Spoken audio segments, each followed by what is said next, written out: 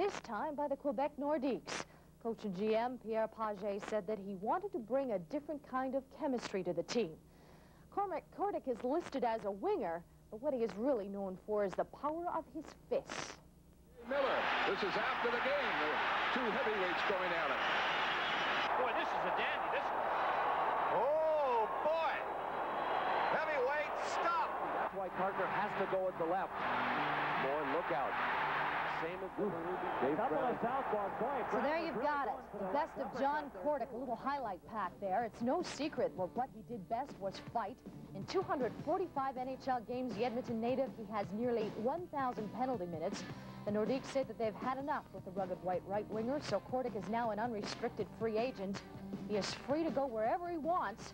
Kordic is only 26 years old, so with expansion coming next season, maybe he'll wind up in Tampa or Ottawa.